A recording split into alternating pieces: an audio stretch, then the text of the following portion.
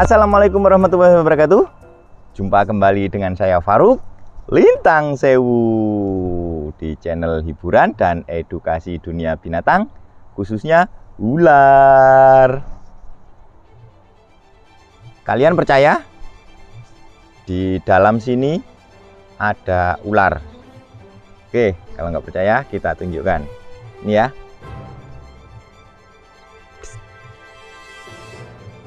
Nah, ini dia ular kawat atau ular cacing. Ini adalah jenis ular paling kecil di dunia. Ular terkecil di dunia. Ular ini hanya mampu tumbuh sepanjang 20 cm. Namun sangat sangat jarang ditemukan yang 20 cm, paling cuma 15 atau sekitar 10 10 cm ini bukan bukan cacing kawan-kawan ya. Mirip sangat mirip dengan cacing. Tapi kalau cacing itu berlendir. Kalau ular sesuai dengan ciri-ciri ular pada eh, ciri-ciri uh, ular yaitu seluruh tubuhnya ditutupi oleh sisik. Itu yang membedakan antara ular ini dengan cacing. Wis pergerakannya gesit juga. Dalam bahasa Inggris dia disebut common blind snake atau flower pot snake. Oke disebut flower pot snake. Itu karena biasanya sering ditemukan di bawah-bawah pot.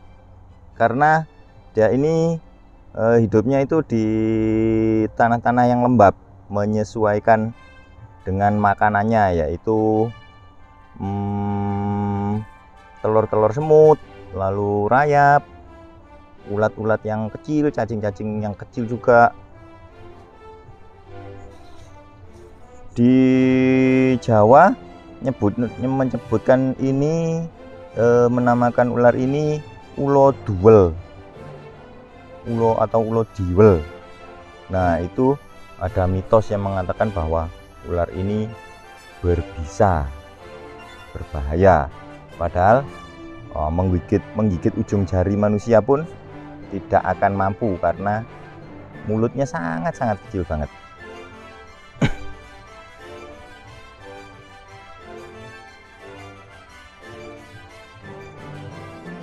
ini warnanya seperti ini kawan-kawan. Matanya ini sangat kecil banget dan e, tertutupi oleh sisik. Makanya itu di e, bahasa Inggris ular ini disebut juga blind snake atau ular buta. Padahal tidak, dia tetap aja bisa melihat.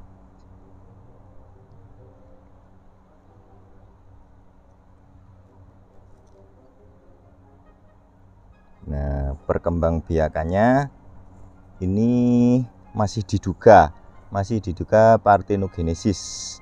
Karena selama ini yang ditemukan itu berkelamin, eh, berjenis kelamin betina habitatnya fusurial atau ular peliang. Jadi dia sangat-sangat jarang muncul ke permukaan tanah. Jadi lebih seneng ngerong atau hidup di bawah permukaan tanah. Ini persebarannya juga wuh teramat luas. Banyak banget.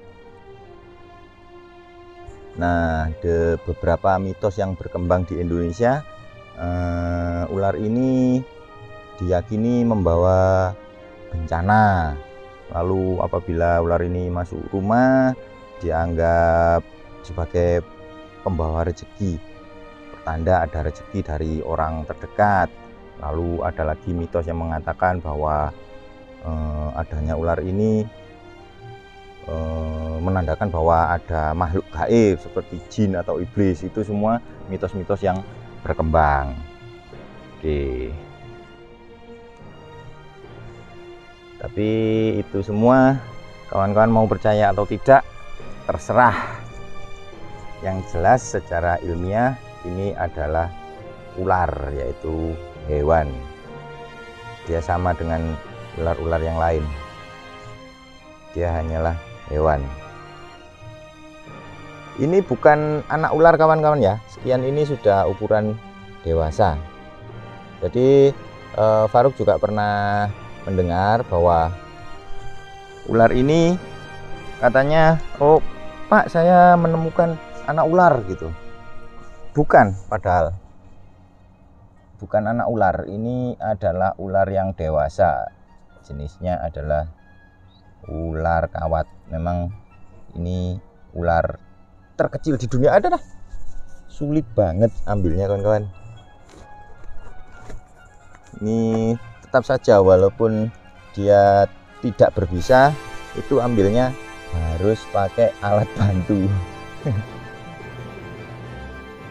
Nah gunakan sesuatu yang tipis untuk mengangkat nah seperti ini. Nah, ini kepalanya lalu ujung ekornya ini lancip kawan-kawan seperti memiliki sengat hmm.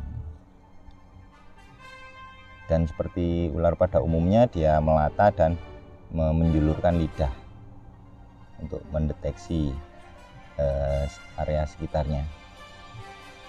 Kulit apabila mau berganti kulit, oh, warnanya ular ini berubah agak agak putih.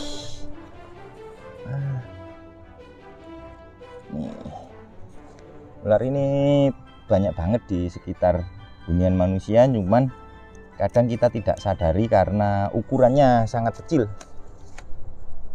karena ukurannya sangat kecil dan juga dia bersembunyi di bawah permukaan tanah, di bawah tumpukan-tumpukan kayu busuk, lalu di bawah batu-batu.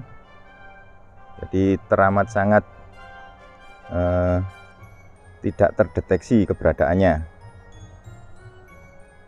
Nah, itulah eh, aduh, salah satu jenis ular yang dimiliki negara kita.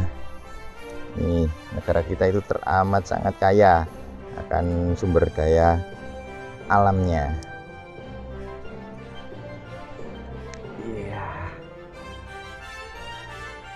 Kalau menemukan ular ini jangan berusaha untuk memelihara kawan-kawan ya, karena perawatannya e, untuk ngasih makannya itu sangat sulit. Ular ini termasuk dalam golongan ular-ular primitif. Jadi untuk dipelihara itu uh, tingkat kesulitannya teramat tinggi.